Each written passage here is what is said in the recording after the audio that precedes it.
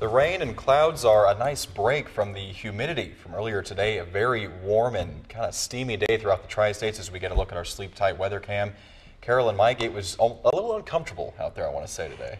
Well, at least it looks better than it did. I took a it peek does, yeah. uh, on, on the Skycam a little earlier today, and boy, you could hardly see anything. There was some, some heavy rain for a short while. It did pour right here at the studio for a good, I think, 20 minutes mm -hmm. or so, Mm-hmm. and then moved off to the east. Some thunderstorms um, pushed around, oh, I don't know, five or so, somewhere like that. We had yeah. some heavy hail, some uh, large hail anyway, and some heavy rains across parts of the viewing area. That has now moved north of us, so now we're going to be watching the skies out to the west for some developing thunderstorms.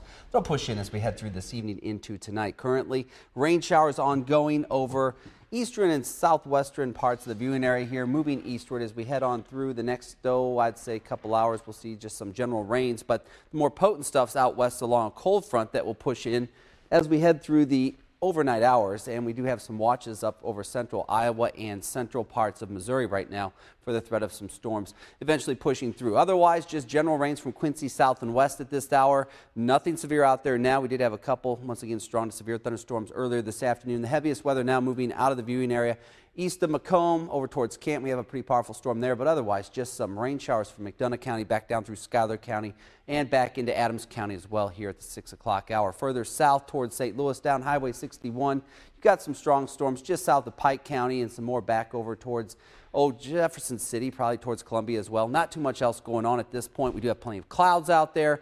And once again, it's just a slight risk of severe storms that we'll see later on tonight as a cold front will move in from the west to the east. The biggest threats will be some damaging winds and some large hail potentially.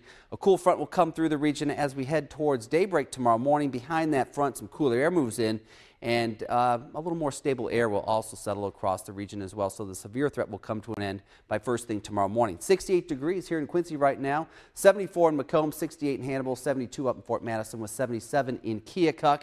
Temperatures took a hit with the rains we saw this afternoon. Right now, we have a report anyway of a thunderstorm over at the airport, 68 degrees. The winds are out of the south at 21, gusting pretty good so up there at 33 miles an hour. Across the Midwest, 70s and 80s today.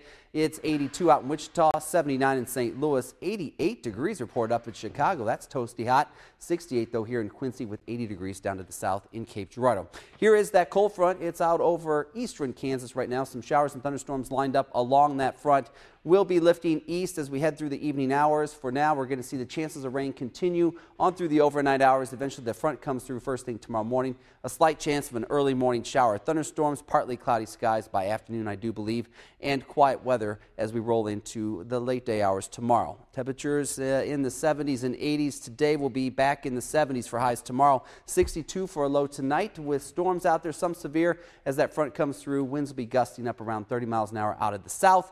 Then for tomorrow, we'll take it up to 73 with partly cloudy skies, a chance of rainstorms, mainly early on. Winds out of the west, 10 to 20 miles an hour. Your extended forecast looks, uh, well, a little unsettled as we head through the next several days. Temperatures will try and warm back up to 80 degrees on Saturday with a 20% coverage of some showers and storms. Mother's Day, of course, is on Sunday. Then we'll see a chance of storms there once again, high somewhere in the upper 70s. I've marked out 78 there here in Quincy as we head into Monday and Tuesday. Still just a slight chance of a shower thunderstorm with temperatures there in the 70s. All right. Thank you very much, Mike. By